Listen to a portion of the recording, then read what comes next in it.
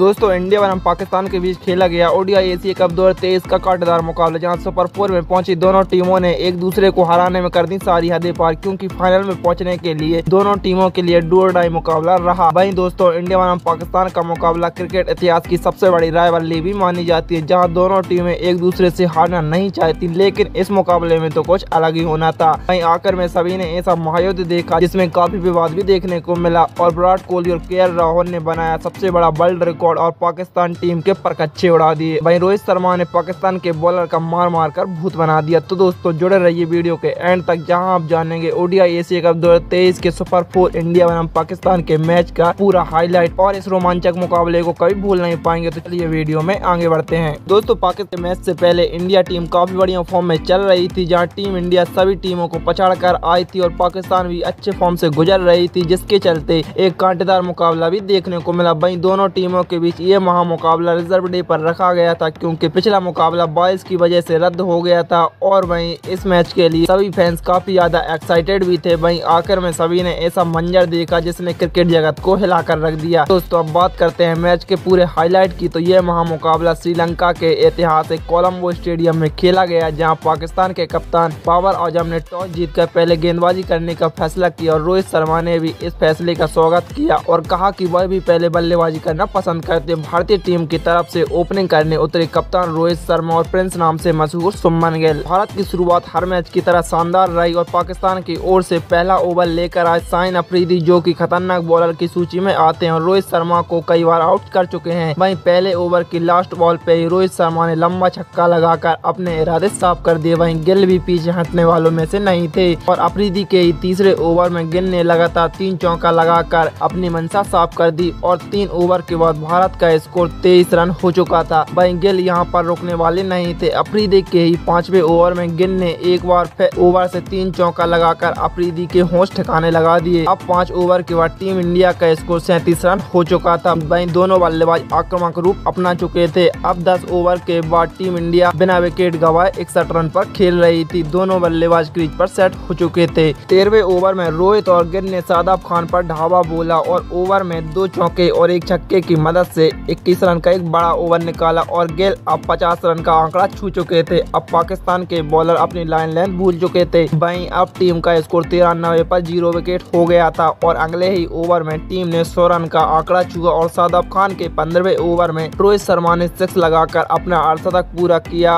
और ओवर से बारह रन निकाले। अब टीम इंडिया को रोहित शर्मा के रूप में सबसे बड़ा झटका लगा। सादब खान की ओवर की चौथी बॉल पर रोहित शर्मा आउट हुए। इसके चलते टीम का स्कोर 122 पर एक विकेट हो चुका था और देखते ही देखते अफरीदी के अगले ओवर में गिल भी पवेलियन लौट चुके थे और अब टीम की ओपनिंग जोड़ी पवेलियन लौट चुकी थी। अब जोड़ी थी सलामी बल्लेबाज के राहुल और किंग कोहली की। मैच के बीच बारिश का आगमन भी देखने को मिला और अब मुकाबला दूसरे दिन पर खेला गया और दोनों बल्लेबाज ने जमकर बल्लेबाजी की और 25 ओवर के बाद टीम इंडिया डेढ़ रन का आंकड़ा छू चुकी थी। वहीं 33 ओवर के बाद के राहुल ने अपना अर्धशतक भी पूरा किया और टीम इंडिया का स्कोर भी 200 के पार पहुँचा दिया। अब भारतीय टीम एक बड़े स्कोर की ओर बढ़ रही थी। अड़तीसवे ओवर में किंग कोहली ने भी अपना चासा कंप्लीट किया। अब दोनों के बीच एक सौ उन्नीस रन की पार्टनरशिप भी देखने को मिली। वही दोनों बल्लेबाज अब आक्रामक रूप अपना चुके थे और तेज रन बनाना शुरू कर दिया था। वही चालीस ओवर के बाद टीम इंडिया का स्कोर ढाई के पार हो चुका था दो विकेट के चलते। अब दोनों बल्लेबाज अपने शतक की ओर बढ़ रहे थे और मात्र पाँच ओवर में दोनों बल्लेबाजों ने पचास रन बना डाले। अब टीम इंडिया 300 के पार जा चुकी थी। वहीं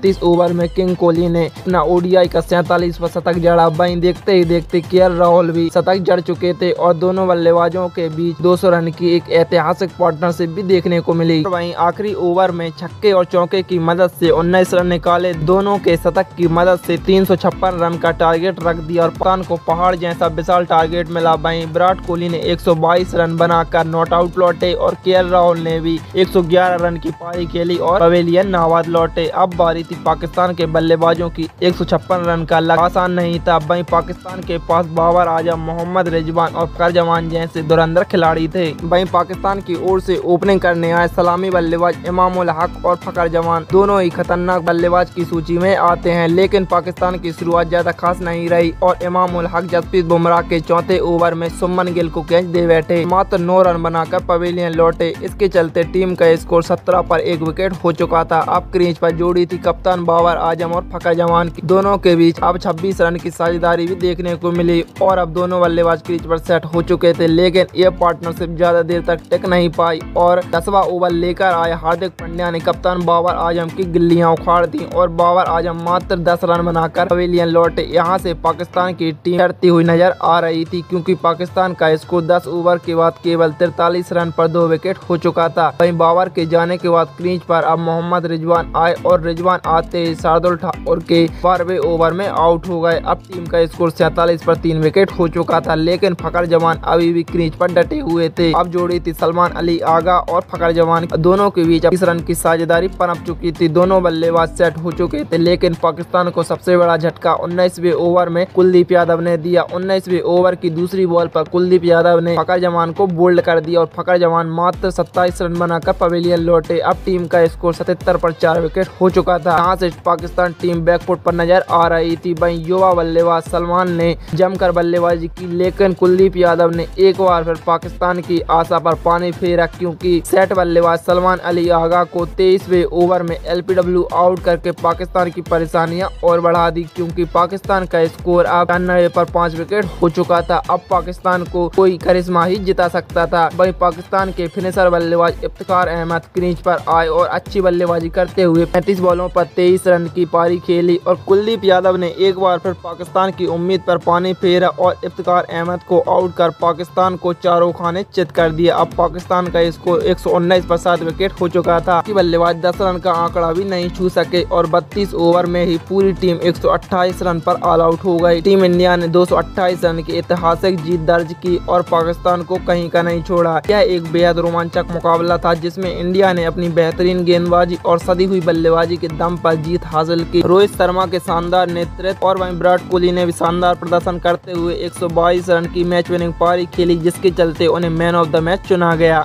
ने भी अंत तक संघर्ष किया, लेकिन इंडिया के बॉलर्स के आगे उनकी एक नहीं चली। तो दोस्तों, कैसा लगा आपको यह मैच का हाईलाइट हमें कमेंट करके ज़रूर बताएँ। अगर आपको यह वीडियो पसंद आई हो तो वीडियो को एक लाइक करना ना भूलें।